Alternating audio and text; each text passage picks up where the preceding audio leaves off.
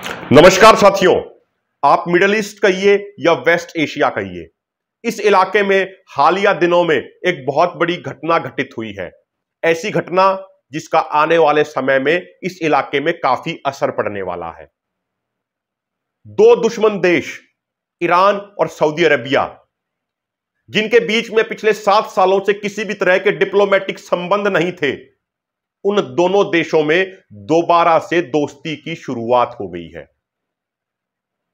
2016 में सऊदी अरब में शिया क्लैरिक शेख निमर को मौत की सजा सुना दी गई थी। उसके बाद ईरान में तेहरान के अंदर सऊदी अरब की एम्बेसी पर प्रदर्शनकारियों ने हमला कर दिया। ईरान के मसद शहर में स्थित सऊदी कॉन्सुलेट पे प्रदर्शनकारियों ने हमला कर दिया। और उसके बाद दोनों देशों के बीच में डिप्लोमेटिक संबंध पूरे तरीके से खत्म हो गए थे और तनाव चरम पे पहुँच गया था। सात सालों के बाद दोबारा से दोनों देशों के बीच में एक दोस्ती की शुरुआत हुई है। और सबसे महत्वपूर्ण बात यह सबसे हैरान करने वाली बात यह कि दोनों देशों की दोस्ती शुरू कराने में सबसे महत्वपूर्ण रोल निभाया है चाइना ने। और इसी बात की वजह से अमेरिका अच्छा खासा परेशान और नाराज़ है। क्योंकि आज तक मिडिल ईस्ट में जितने भी महत्वपूर्ण फैसले होते थे, उनमें सबसे इंपॉर्टेंट रोल अमेरिका ही प्ले करता था। और इसीलिए हालिया समय में एक रिपोर्ट के अनुसार अमेरिका की सीआईए के डायरेक्टर विलियम बर्न्स ने सऊदी अरब का दौरा किया और वहाँ के अधिकारियों और राजनेताओं को यह क्लियर संदेश दे दिया कि इस प्रेजेंट डेवलपमेंट से अमेरिका बिल्कुल भी खुश नहीं है। जो हालिया समय में सऊदी अरब और ईरान के बीच में समझौता हुआ, इस समझौते पे जो हस्ताक्षर किए गए, वो चीन की राजधानी बीजिंग में हुए। और इस पूरे समझौते की पिक्चर में अमेरिका कहीं भी दिखाई नहीं दिया। साथियों, इस पूरे मामले के बारे में तीन बड़ी महत्वपूर्ण चीज़ें हैं जो आपको समझनी चाहिए। पहली बात तो यह कि सऊदी अरब और ईरान में इतनी दुश्मनी क्यों है? दूसरी बात यह कि इन दोनों देशों के बीच में अचानक से दोस्ती की शुरुआत कैसे हुई? और तीसरी बात यह कि वो क्या महत्वपूर्ण बिंदु है ईरान और सऊदी अरब के लिए, जिनके कारण दोनों देशों ने दोबारा से एक दोस्ती की शुरुआत की है। सबसे पहले यह समझते हैं कि ईरान और सऊदी अरब में आखिरकार दुश्मनी क्यों है। सबसे पहला बड़ा फैक्टर है, वो है कुरान की इंटरप्रिटेशन को लेके। सऊदी अरब एक सुन्नी मेजॉरिटी देश है और ईरान एक शिया मेजॉरिटी देश है। शिया और सुन्नी कुरान की इंटरप्रिटेशन अलग से करते हैं। और इसीलिए देखा होगा आपने दुनिया भर में शियाओं और सुन्नियों के बीच में काफ़ी मतभेद है। इन दोनों देशों के बीच में दुश्मनी का एक अन्य कारण यह भी है कि उन्नीस सौ उनासी में जब ईरान के अंदर इस्लामिक क्रांति हुई खुमैनी के नेतृत्व में तो उसी समय से ईरान ने पश्चिमी देशों और पश्चिमी देशों की सहायता करने वाले अरब देशों के खिलाफ एक बहुत आक्रामक रुख अपनाया था। और उसी समय से ईरान और अन्य सुन्नी देशों के बीच में बड़े मतभेद चलते आ रहे हैं। आप हालिया समय भी, में भी देखेंगे यदि तो जितनी भी कंफ्लिक्ट हुई मिडल ईस्ट में, उन सभी कंफ्लिक्ट्स में ईरान और सऊदी अरब ओपोजिट पार्टीज़ को सपोर्ट करती रही। चाहे आप बात कर लीजिए सीरिया की या आप बात कर लीजिए यमन की। सीरिया में ईरान पूरी ताकत से सीरिया के प्रेसिडेंट बशर अल असद और उनकी फौज के साथ खड़ा रहा। तो दूसरी तरफ़ सऊदी अरबिया ने बशर अल असद का विरोध कर रहे विद्रोहियों को पूर्ण तरीके से समर्थन दिया। यदि बात करें यमन की तो यमन में ईरान हूथी विद्रोहियों के साथ खड़ा है। तो दूसरी तरफ़ सऊदी अरबिया ने हूथी विद्रोहियों के खिलाफ एक सैन्य अभियान चलाया और मंसूर अल हादी की गवर्नमेंट को दोबारा से एस्टेब्लिश करने का पूरा प्रयास किया। तो पुराने समय से ही सऊदी अरब और ईरान में एक दुश्मनी का माहौल रहा है। शियाओं के जितने भी बड़े महत्वपूर्ण स्थल हैं, चाहे वो मशद हो, चाहे वो कुंभ हो वो सारे ईरान में हैं। और जो सुन्नियों के, खासकर जो बड़े महत्वपूर्ण स्थल हैं, जिनको सभी मुसलमान मानते हैं, चाहे वो शिया हो, चाहे सुन्नी हो, वो सऊदी अरब के अंदर है, चाहे मक्का हो या मदीना हो। तो इन वजहों से, पुराने समय से इन दोनों देशों के बीच में बड़े मतभेद रहे हैं। अब यह समझना बड़ा ज़रूरी है कि इन दोनों देशों के बीच में सात साल बाद आखिर दोबारा से दोस्ती की शुरुआत कैसे होगी। एक्सपर्ट्स का कहना है कि पहले ईरान की तरफ़ से सऊदी अरब को यह मैसेज भेजा गया कि वो बात शुरू करना चाहते हैं। लेकिन जब पहली बार सऊदी अरब के अधिकारियों के पास यह मैसेज गया तो सऊदी अरब ने बातचीत को सिरे से नकार दिया। क्योंकि उनको यह लगता था कि यमन के अंदर और अन्य देशों के अंदर ईरान अपनी इन्वॉल्वमेंट किसी भी कीमत पे कम नहीं करेगा। लेकिन बाद में इराक और ओमान ने मध्यस्थता करी। और इनकी मध्यस्थता का काफ़ी असर पड़ा। ईरान और सऊदी अरब के अधिकारियों के बीच में कई राउंड की डिस्कशंस ओमान और इराक में हुई। खासकर इराक के जो पहले प्रधानमंत्री रहे, मुस्तफ़ा अल खदीमी उन्होंने इस बातचीत को काफ़ी आगे बढ़ाया, क्योंकि वो एक ऐसे लीडर थे जिनके ऊपर ईरान का भी विश्वास था, जिनके ऊपर सऊदी अरब का भी विश्वास था। तो इसीलिए ओमान और इराक के प्रयासों से यह बातचीत ईरान और सऊदी अरब के बीच में आगे बढ़ी। लेकिन अचानक से इराक के अंदर मुस्तफ़ा अल खदीमी की सरकार चली गई और नए प्रधानमंत्री आए। जैसे ही इराक में नए प्रधानमंत्री आए, उन्होंने मध्यस्थता को लेकर कोई खासी रुचि नहीं दिखाई और ईरान और सऊदी अरब के बीच में बातचीत अचानक से रुक गई। कई पत्रकारों के अनुसार जिनको इंटरनल डिटेल्स मालूम रहती हैं, उन्होंने यह बताया कि जब चाइना के राष्ट्रपति दिसंबर 2022 में सऊदी अरब के दौरे पे गए तो वहाँ पे सऊदी अरब ने यह पेशकश की कि चाइना एक इंपॉर्टेंट रोल निभाए और सऊदी अरब व ईरान के बीच में दोबारा से बातचीत शुरू कराए। उसके बाद ईरान के राष्ट्रपति का, चीन का दौरा होता है और वहाँ पर यह बातचीत आगे बढ़ती है। और उसके बाद 10 मार्च को बीजिंग के अंदर ईरान और सऊदी अरबिया आपस में डिप्लोमेटिक संबंध शुरू करने के लेके कागजों पे हस्ताक्षर करते हैं। और ये तय करते हैं, ये ऐलान करते हैं कि आगामी दो महीने में दोनों देश एक दूसरे देशों में अपने कॉन्सुलेट और एम्बेसी खोल लेंगे। उसी के तहत अभी दो तीन दिन पहले ये एम्बेसी और कॉन्सुलेट खोलने का काम दोबारा से ईरान और सऊदी अरब ने शुरू कर दिया। साथियों, महत्वपूर्ण बात अब यह आती है कि आखिर वो क्या फैक्टर्स रहे जिनकी वजह से ईरान और सऊदी अरबिया ने दोबारा से दोस्ती की शुरुआत की है? आखिर वो कौन से फैक्टर हैं जिनके कारण दो दुश्मन देश आपस में एक दूसरे के नज़दीक आने को मजबूर हो गए?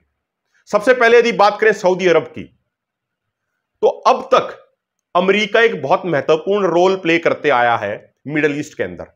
और खासकर सऊदी अरबिया के लिए जितनी भी सिक्योरिटी गारंटीज रही हैं, उन सभी सिक्योरिटी गारंटीज को निभाने का काम अमेरिका ने बड़े सतर पे किया है। एक तरीके से अमेरिका ने सऊदी अरब को सैन्य तौर पे प्रोटेक्ट करने का काम किया है। लेकिन पिछले पाँच छह सालों में जो घटनाएँ घटित हुई, उनके कारण सऊदी अरब का विश्वास अमेरिका के ऊपर से कम होता चला गया। चाहे आप बात कर लीजिए, जब सऊदी अरब की आरामको ऑयल कॉरपोरेशन पे यमन के हुथी विद्रोहियों ने मिसाइलों और ड्रोनों से हमला किया। तो उसके बाद अमेरिका ने वो सैन्य कदम नहीं उठाए जिनकी उम्मीद सऊदी अरबिया कर रहा था। सऊदी अरब के रूलर्स ये सोच रहे थे कि हुथी विद्रोहियों ने सऊदी अरब की सबसे बड़ी तेल कंपनी अरामको ऑयल कॉरपोरेशन पे हमला किया है तो इसके जवाब में अमेरिका सीधे तौर पे सऊदी अरब की मदद के लिए उतरेगा, लेकिन अमेरिका ने कोई मदद सीधे तौर पे नहीं की। उसके बाद अभी हालिया जो अमेरिकन प्रेसिडेंशियल इलेक्शन थे, उससे पहले जब डेमोक्रेट्स के जो बिडन प्रचार कर रहे थे तो वो बार बार एक बात कह रहे थे कि सऊदी अरब के एक पत्रकार जमाल खशोगजी की तुर्की में जो हत्या की गई है, उस विषय में वो सऊदी अरब के रूलर मोहम्मद बिन सलमान से तीखे सवाल पूछेंगे और उनको इंटरनेशनल लेवल पे अलग थलग कर देंगे।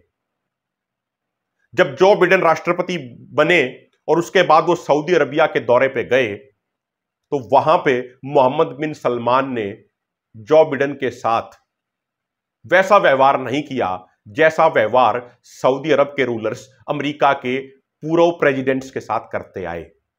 मोहम्मद बिन सलमान इस बात को लेकर खासे नाराज़ थे कि जो बिडन ने अमेरिका में बार बार इस बात का प्रचार किया कि जमाल खशोगजी की हत्या में मोहम्मद बिन सलमान सीधे तौर पे इन्वॉल्व हैं और वो यदि राष्ट्रपति बने तो मोहम्मद बिन सलमान को अलग थलग करने में कोई कसर नहीं छोड़ेंगे। यही कारण है कि हालिया समय में जब अमेरिका के राष्ट्रपति सऊदी अरब के दौरे पर गए तो एयरपोर्ट पर उनको वेलकम करने के लिए एक सिटी का गवर्नर आया। वहीं दूसरी तरफ़, जब चाइना के राष्ट्रपति शिनपिंग सऊदी अरब के दौरे पे गए तो खुद सऊदी अरब के विदेश मंत्री उनको रिसीव करने के लिए वहाँ पे गए। तो ये तमाम घटनाओं के कारण सऊदी अरब अमेरिका से दूर होता जा रहा है। हालिया समय में जब अमेरिका ने सऊदी अरब व अन्य ओपेक देशों पर दबाव दबाव डालने की कोशिश की कि वो ऑयल प्रोडक्शन कम कर दें, ताकि रशिया का ऑयल सस्ता हो जाए, रशिया को अलग थलग करने के लिए जब अमेरिका की सरकार ने, अमेरिका के प्रेसिडेंट ने ओपेक देशों पर दबाव डालने का प्रयास किया। तो ओपेक देशों में सबसे महत्वपूर्ण देश सऊदी अरबिया ने अमेरिका के दबाव को मानने से स्पष्ट इनकार कर दिया। और खुले तौर पे सऊदी अरब ने एक न्यूट्रल रोल प्ले किया और मैं ये कहूँगा कि कहीं ना कहीं रशिया की साइड ली इस पूरी कंफ्लिक्ट में सऊदी अरबिया ने। अमेरिका चाह रहा था कि सऊदी अरबिया, यूएई अन्य मुस्लिम देश खुले तौर पे रशिया की आलोचना करें, लेकिन इन देशों ने, खासकर सऊदी अरबिया और यूएई ने, रशिया की सीधे तौर पे कोई आलोचना नहीं की, और ना ही अमेरिका व पश्चिमी देशों के उन प्रतिबंधों को माना, जो प्रतिबंध अमेरिका व पश्चिमी देशों ने रशिया के ऊपर हालिया समय में लगाए हैं। और इसके अलावा एक और महत्वपूर्ण बात यह है, सऊदी अरब को यह लगता है कि चाइना और रशिया ईरान पे ज़्यादा दबाव डालने में सक्षम है एज कंपेयर टू अमेरिका। क्योंकि अमेरिका और ईरान का हमेशा 36 का आंकड़ा रहा है। अमेरिका बेशक कितनी मजबूती से सऊदी अरब के साथ खड़ा रहा हो, लेकिन उसके बावजूद ईरान ने सऊदी अरब के खिलाफ अपनी एक्टिविटीज़ नहीं रोकी। चाहे वो बात सीरिया की हो या वो बात यमन की हो। सऊदी अरब के रूलर्स को उनके एक्सपर्ट्स को यह लगता है कि आज के दिन ईरान के ऊपर रशिया और चाइना का काफ़ी दबाव है। क्योंकि ये दोनों देश कहीं ना कहीं ईरान के साथ खड़े दिखते हैं। और ईरान इन दोनों देशों के साथ खड़े दिखता है। चाहे वो बात रशिया यूक्रेन युद्ध की हो, जिसमें ईरान ने खुले तौर पे अपने ड्रोन्स को रशिया भेजा है। और उसके बदले में रशिया ने काफ़ी एडवांस मिलिट्री टेक्नोलॉजी जिसमें सुखोई 35 फाइटर जेट इंक्लूडेड है, जिसमें एस 400 मिसाइल डिफेंस सिस्टम है। ये सारी चीज़ें ईरान को देने का वादा किया है। तो इन तमाम पॉइंट्स के कारण सऊदी अरब यह चाहता था कि वो ईरान के साथ दोबारा से दोस्ती की शुरुआत करे। इसके अलावा एक अन्य महत्वपूर्ण बिंदु यह भी है कि सऊदी अरब विजन 2030 को लेकर चल रहा है। जिस विजन के तहत वो सऊदी अरब को सोशली और इकोनॉमिकली काफ़ी डेवलप करना चाहता है। सऊदी अरब के रूलर्स ये सोच रहे हैं कि आज जिस सऊदी अरब की इकोनॉमी पूरे तरीके से ऑयल इंडस्ट्री पर डिपेंडेंट है तो ऑयल इंडस्ट्री से उसकी डिपेंडेंस कम की जाए, घटाई जाए। क्योंकि आने वाले समय में इलेक्ट्रिक कारें आ रही हैं सोलर कारें आ रही हैं तो आने वाले समय में एक्सपर्ट्स ये कह रहे हैं कि पूरी दुनिया की तेल पर निर्भरता कम होने वाली है। और तेल धीरे धीरे पूरी दुनिया में खत्म भी हो रहा है। तो सऊदी अरब यह चाहता है कि वो अपनी इकोनॉमी को डाइवर्सिफाई करे और सोशली वह इकोनॉमी काफ़ी मजबूती से आगे बढ़े। और विजन 2030 को अकम्प्लिश करने के लिए ज़रूरी है कि सऊदी अरब में पीस बनी रहे। सऊदी अरब और यमन के हुथी विद्रोहियों के बीच में जो झगड़ा पिछले छह सात सालों से चल रहा है इस झगड़े के दौरान, जहाँ एक तरफ़ सऊदी अरब अपने एडवांस वेपन्स के ज़रिए हुथी विद्रोहियों पर हमला कर रहा है तो दूसरी तरफ़ हुथी विद्रोही समय समय पे मिसाइल और ड्रोनों से सऊदी अरब के कई एयरपोर्टों पर भी हमले कर रहे हैं। तो ऐसी स्थिति में इन्वेस्टर्स का कॉन्फिडेंस पूरे तरीके से सऊदी अरब की इकोनॉमी के अंदर नहीं आ पा रहा है, और इसीलिए सऊदी अरब यह चाहता है कि विजन 2030 को अकम्प्लिश करने के लिए, उसको पूरा करने के लिए सऊदी अरब सबसे पहले पीस को एस्टेब्लिश करे। वही दूसरी तरफ़, यदि आप बात ईरान की करें, कि आखिर ईरान ने दो, ये दोस्ती की शुरुआत क्यों की? आखिर ऐसे क्या पॉइंट्स हैं जिनके कारण ईरान को दोस्ती के लिए मजबूर होना पड़ा? सबसे पहला फैक्टर यह है कि उन्नीस सौ उनासी में ईरान के अंदर इस्लामिक क्रांति के बाद से ही ईरान में तमाम नेता यह कहते रहे हैं कि उनका सबसे महत्वपूर्ण एजेंडा यह है कि मिडल ईस्ट पे मिडल ईस्ट के अंदर से अमेरिका इसराइल और अन्य पश्चिमी देशों की इन्वॉल्वमेंट को इंटरफेरेंस को बिल्कुल कम किया जाए। ईरान के लीडर बार बार ये कहते आए हैं पिछले 44 सालों में कि उनका सबसे प्रमुख एजेंडा ये है कि अमेरिका जो इंटरफेरेंस कर रहा है मिडल ईस्ट के अंदर, वो अमेरिका की इंटरफेरेंस को पूरे तरीके से खत्म कर देंगे। तो जो ये एक डील हुई है जिसमें चाइना ने एक इंपॉर्टेंट रोल प्ले किया है और चाइना और अमेरिका के बीच में काफ़ी टकराव चल रहा है तो एक तरीके से चाइना और रशिया के कहने पे ये समझौता करके अमेरिका ने मा, माफ़ कीजिएगा ईरान ने एक ये कड़ा संदेश दिया है कि अब मिडल ईस्ट में अमेरिका की नहीं चलेगी। तो ईरान कहीं ना कहीं इस डील के माध्यम से अपने उस एजेंडे को कंप्लीट करना चाह रहा है जिस एजेंडे के तहत उनका टारगेट ये रहा है कि मिडल ईस्ट के अंदर से अमेरिका इसराइल व अन्य पश्चिमी देशों की इन्वॉल्वमेंट और इंटरफेरेंस कम की जाए। दूसरा एक बड़ा कारण यह रहा है कि ईरान हालिया समय में आर्थिक समस्याओं से बड़े पैमाने पर जूझ रहा है।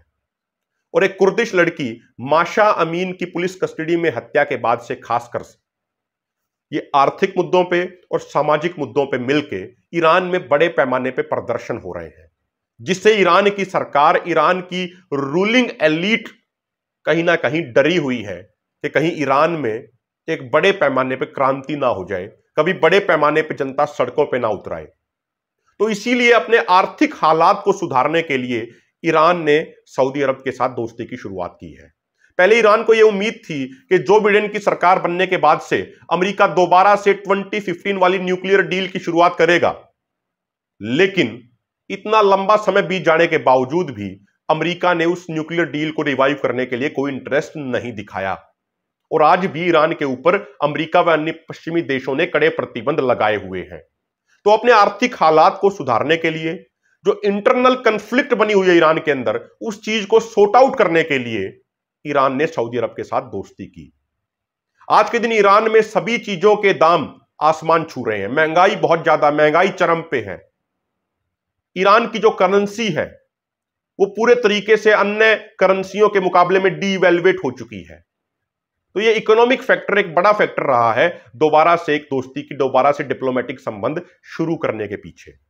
एक अन्य फैक्टर साथियों ये भी है कि ईरान बार बार ये कह रहा है कि ईरान के अंदर जो प्रोटेस्ट हो रहे हैं, उन प्रोटेस्ट को भड़काने में एक सबसे बड़ा रोल प्ले कर रहा है एक न्यूज़ चैनल एक फारसी न्यूज़ चैनल जिसकी वेबसाइट इंग्लिश में भी है, जिसका नाम है ईरान इंटरनेशनल और ईरान का आरोप यह है कि ईरान इंटरनेशनल के पीछे सऊदी अरब की इंटेलिजेंस एजेंसी है और सऊदी अरब की फंडिंग से ही ईरान इंटरनेशनल चल रहा है, जिसका एक बड़ा हेडक्वार्टर इंग्लैंड के लंदन में भी है।